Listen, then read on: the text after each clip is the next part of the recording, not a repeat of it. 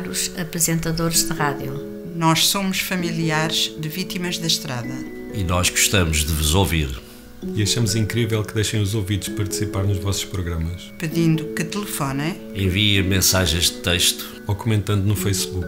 mas muitos de nós estamos ao volante nesse momento. e todos sabemos que combinação de telemóvel e condução é muito perigosa. Por isso fizemos o jingle da segurança, Um separador de rádio que incentiva as pessoas a não utilizar o telemóvel enquanto conduzem. Mas por favor, não use o telemóvel enquanto conduz.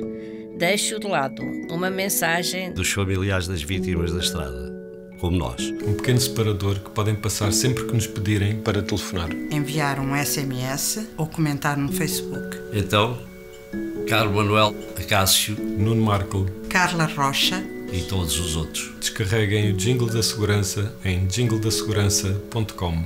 e passem-nos sempre que pedirem para as pessoas telefonarem.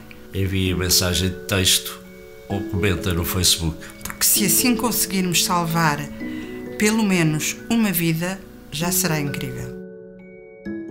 Mas por favor, não use o telemóvel enquanto conduz.